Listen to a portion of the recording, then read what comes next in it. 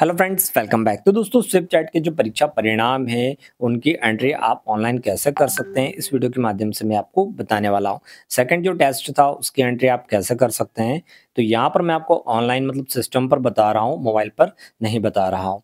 इसका लिंक आपको डिस्क्रिप्शन में मिल जाएगा। अगर आप ऐप्स से करना चाहते हैं तो भी सेम प्रोसेस रहेगी। ऐप्स का लिंक भी आपको डिस्क्रिप्शन में मिल जाएगा। अभी मैं सिस्टम पर हूँ तो यहाँ पर मैं अपने मोबाइल नंबर से जो है इसे लॉगिन कर लेता हूँ। जैसा कि आप अपने मोबाइल पर करते हैं सेम वही प्रक्रिया तो आप यहाँ पर जो है लॉगिन कर लें। तो यहाँ पर मैं अपना मोबाइल नंबर और ओटीपी के माध्यम से लॉगिन कर लेता हूँ।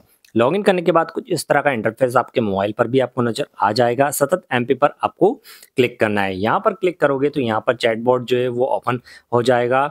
यहाँ पर आपको देखिए तीन ऑप्शन नज़र आ रहे हैं तो यहाँ पर आपको सर्वे आईडी दर्ज करना होगा सर्वे आईडी क्या है तो आपको यहाँ पर देखिए मैं बता देता हूँ भाई सर्वे आईडी क्या है तो यहाँ पर थोड़ा सा हम स्क्रॉल करेंगे और हमारे जो चैट बोर्ड है इसमें आ चुकी है पहले से वो तो वही आईडी हम यहाँ पर दर्ज करेंगे तो यहाँ पर देखिए सबसे थोड़ा सा स्क्रॉल कर कर ऊपर आएँगे हम और यहाँ पर हमें जो है आईडी नज़र आ जाएगी तो यहाँ पर देखिए हमारी आईडी लिखी हुई है N S M O C के mock test underscore zero one underscore zero six तो यहाँ पर ज़ीरो वन की जगह आप ज़ीरो टू करें और कक्षा छः के लिए ज़ीरो सिक्स लिखें। इसके बाद इसे सेंड करें। सेंड करने के बाद यहाँ पर बोला जाएगा कि आप अपना यूडाइस यहाँ पर जो है दर्ज करें। ठीक है, पहले यहाँ पर क्लिक करना है, उसके बाद।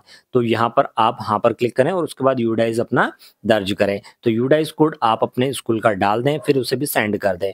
सेंड करने के बाद यहाँ पर फिर से जो है आपके स्कूल का नाम आ जाएगा। फिर से यहाँ पर आपको क्लिक कर देना है। यहाँ पर क्लिक करोगे तो फिर से जो है यहाँ पर परीक्षा परिणाम दर्ज करने के लिए कहेगा आपको तो स्टार्ट सर्वे पर आपको क्लिक करना है, ठीक है? तो यहाँ पर जारी रखें हम, यहाँ पर क्लिक करते हैं और स्टार्ट सर्वे पर हम क्लिक करेंगे, जिससे कि हमें यहाँ पर जो है नंबर चढ़ाने के लिए ऑप्शन नज़र आ जाएगा। तो स्टार्ट सर्वे पर हम क्लिक करेंगे और यहाँ पर जो है हमें नंबर का जो ऑप्शन है चढ़ाने के लिए जो ऑप्शन है वो यहाँ पर आ जाएँगे। तो यहाँ पर देखिए पहले कक्षा में शिक्षा का माध्यम क्या है तो यहाँ पर हिंदी इंग्लिश जो भी है भाई, वो आप चुन लें। तो यहाँ पर अभी हमारा हिंदी है तो हम हिंदी यहाँ पर चुनेंगे और आगे इस बढ़ें, ठीक है? यहाँ पर आप क्लिक करें, इसे सहेजें यानी कि सेव कर देंगे। फिर अपनी कक्षा का चुनाव करेंगे तो कक्षा छः के लिए हम कर रहे हैं तो कक्षा छः पर क्लिक करेंगे और आगे बढ़ेंगे। फिर यहाँ पर कक्षा में कुल नामांकित विद्यार्थियों की संख्या, वो यहाँ पर फिल करेंगे और इसे भी फिर जो है हम आगे बढ़ जाएँगे। इस तरह से सभी प्रश्नों के उत्तर हमें यहाँ पर देना है। कक्षा में कुल उपस्थित विद्यार्थियों की संख्या जितनी भी है भाई, वो आप दर्ज करें। सत्रह है तो हम यहाँ सत्रह दर्ज करेंगे और आगे बढ़ जाएँगे। फिर यहाँ पर प्रश्न एक में सही जवाब देने वाले विद्यार्थियों की संख्या। प्रश्न एक में कितने विद्यार्थियों ने सही जवाब दिया? प्रश्न एक का, वो आप यहाँ पर दर्ज करें और आगे बढ़ जाएँ।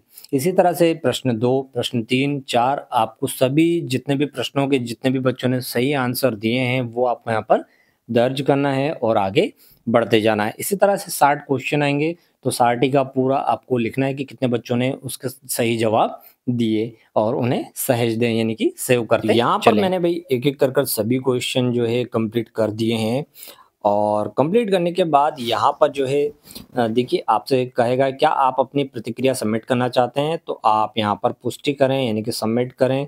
ठीक है, यहाँ पर आपको क्लिक कर देना है, जिससे कि आपने जो भी मार्क्स दिए हैं वो सबमिट हो जाएँ। सबमिट होने के बाद यहाँ पर लिखा हुआ आ जाएगा कि आपका जो टेस्ट है ज़ीरो टू ज़ीरो कक्षा छः के लिए संपूर्ण सफलतापूर्वक सबमिट कर दिया गया है। तो आपके जो नंबर है मार्क्स हैं भाई, है ना, वो सबमिट हो जाएँगे, आपका काम यहाँ पर कंप्लीट होता है और इतनी ही यहाँ पर प्रोसेस है, ज़्यादा कुछ है नहीं।